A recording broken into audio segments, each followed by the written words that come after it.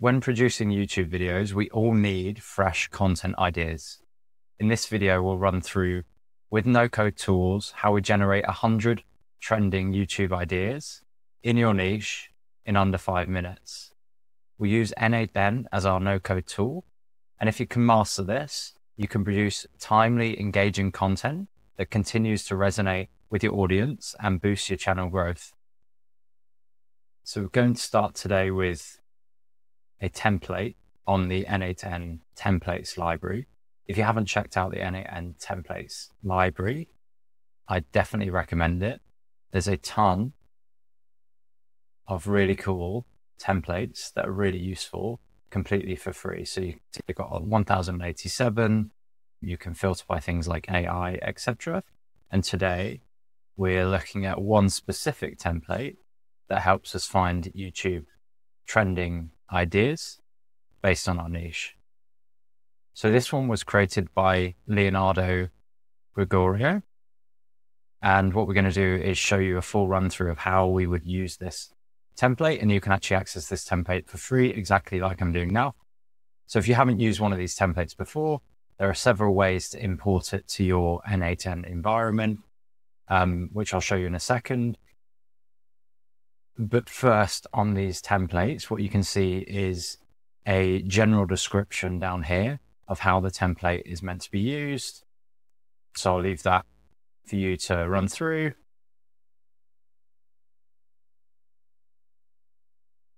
So what we have here is a template created by Leonardo Gregorio. And he's created this template that's completely accessible and free to all of us. And we're going to go and run through the setup and show you how to set this up and actually what results it's returned.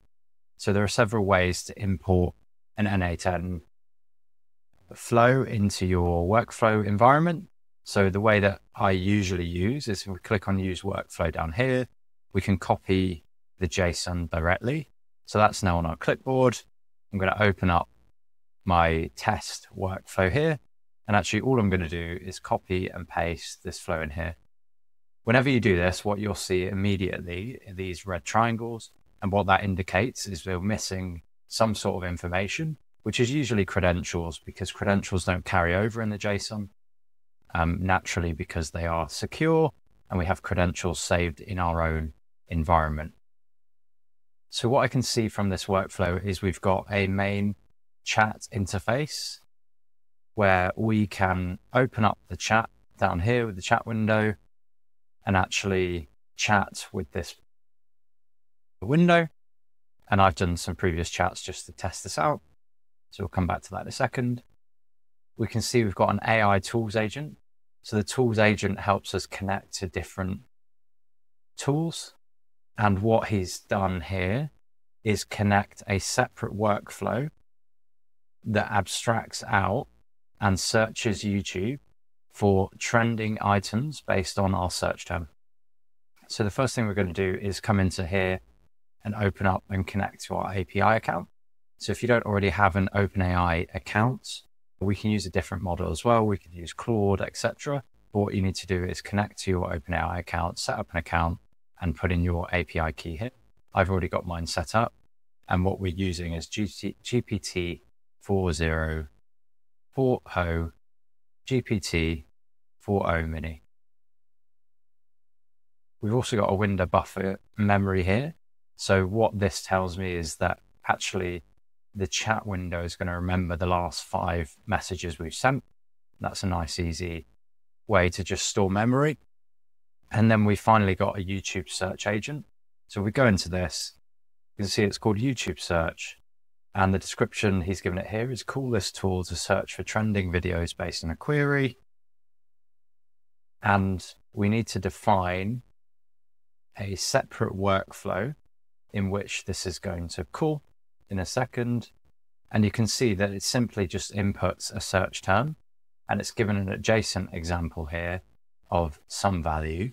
So based on our chat, the AI will determine the search term and push it into this separate workflow and send the separate workflow search term and then another uh, value of the niche we're trying to search.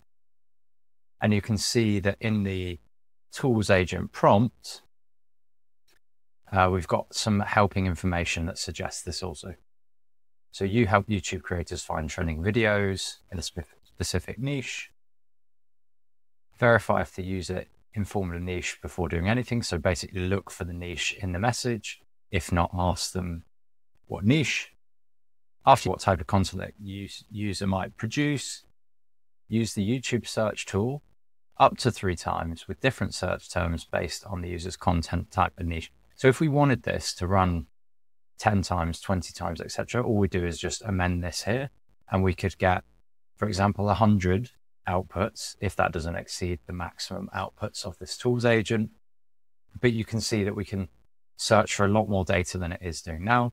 All it's doing is calling this flow several times to find videos that are trending in that niche. Tool will answer with a list of videos from the last two days, so you can see they're super relevant.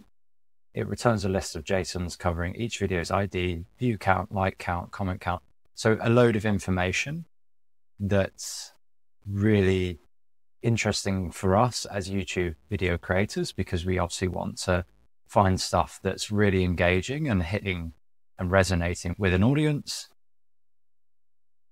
You should then proceed to understand the data received and provide, prov- provide the user with insightful data of what could have been trending. So it will return the YouTube video link as well as key information, but also a summary at the end of what's trending in order to help us understand what content or what content ideas to pursue. So this is the main workflow and actually it's all just operated by a chat interface. This is going to call a sub workflow. So with the AI tools agent, you can connect to various tools and all that's happening here is we've connected, or he's connected to the YouTube search tool. So if I click on tool here, on the right hand side, I just show you here. On the right hand side, we've got call N8N workflow tool. Um, we can access these predefined nodes, but here actually we're just calling a node that's not predefined. There's no YouTube node in the tools here. So we're going to call an N8N workflow, and that's all that has been done here. And we've given it a description, name, etc. However, the one important thing here is that because it's calling another workflow, we need to take this section and actually move it to a completely new workflow. And for test sake, I've called this test two. And now I want to tell this tool that it's going to call test two workflow. So that will now know which workflow in the N8N environment to call. And if we go to test two, we've got to set up a few. So if I click inside the YouTube credential here, what I can see immediately is it's not got access to a search term. And one thing I know from practice of calling other workflows is we need to open up the nodes here and get the execute workflow trigger so that this workflow can be called by our tools agent. So this just says that this workflow is able to be called by previous workflow and the tools agent in the previous workflows knows that it's calling this workflow. The second thing we're going to do is go into this YouTube node here. So I've already got a YouTube uh, node account set up. If you don't already have a YouTube account set up, then what we're going to do is you're going to go to Google credentials. And similarly, if you've already set up Gmail or G Drive or any of those flows on here, it's fairly simple. So if you go to console.cloud.google.com, then this will bring up your cloud. And if you've previously connected using N8N, you'll be familiar with this because it's usually quite cumbersome for the first time, but not for the second time. So on enabled APIs and So if we go to the credentials screen over here, you can see that we've previously set up these OAuth clients. If you don't have one of those set up, you can just go up here, create credentials, one of those. On the right hand side, we're able to see our client ID and our client secret if we hit download action. I've already done that, so I'm not going to do that here. But one other important thing, is if you've not used YouTube before, you need to go to enabled APIs and services, search up here for YouTube, and it will come up with a few different uh, data APIs. What we're looking for is the YouTube Data API v3. Click on that. Uh, as you can see, I've already got it enabled, but if you don't, then you can enable it here. Uh, so what we're going to need is the API key to access this for a later node. So if we go on to manage, we go on to credentials, you can see we're back at our credentials screen, but actually what we're going to do is just create a new credential over here. See if I zoom in, create credentials, API key. I'm just going to zoom out. And that's just going to create an API key for us that we're going to be able to access this with. So if we copy that to clipboard, and obviously I'll remove this afterwards, we go back to our YouTube credential. As I've said, if you're not set this up before, you just update your credential here with your client ID and your client secret. That should work. And the second node that we need to update is this HTTP request. You can see all the other requests do not have any credentials. But in here, we've actually, we're calling the Google API for YouTube video data and we're calling it with an API key here, which we need to replace with our own API key. So for demonstration's sake, I'll put it here. But this is actually bad practice to put it in the query parameter directly because you're exposing it to the web.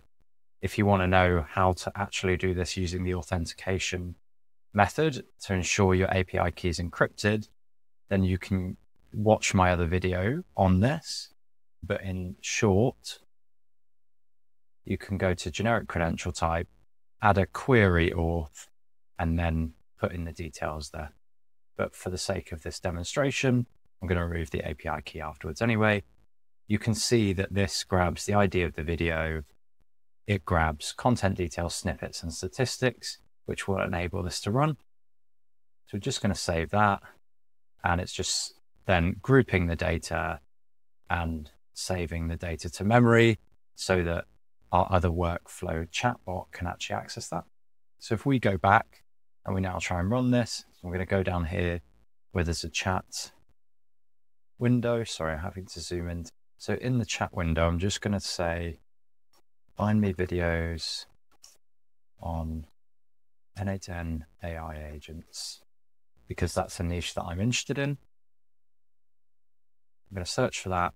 And you can see that as it activates, the AR tools agent has taken in that query and it's understood that it needs to query the YouTube search. So it's already done it once.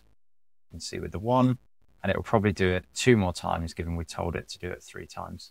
So we'll wait for the response on that, and then we can have a look at the response. Great. So it's now come back with a response, and I can see that it's now working correctly. So it says, I found some trending videos related to N8N AI agents. And the first one is Leon Van Zyl, and you can see it links that channel directly. It's got 2,235 views, 149 likes, and then gives us a description that it's about building a personal AI assistant using N8N and Telegram without coding. So actually, immediately, we can see that if this video is performing well, then maybe I need to create a video around a personal AI assistant, connecting N8N and Telegram. We've then got AI Workshop, which has 1,783 views, seven comments, and again, another description. We can go into more detail and actually obtain more and more information with this, but this is a really good start of finding ideas. And then, uh, oh, amazingly, it's actually pulled up one of my videos about connecting to any API using AI in two minutes. Yeah, it's linked to there, 18 views, a guide on how to quickly connect to APIs using N8N and AI tools. And that's exactly what it's about as well. And then it's even give us a bonus here, number four.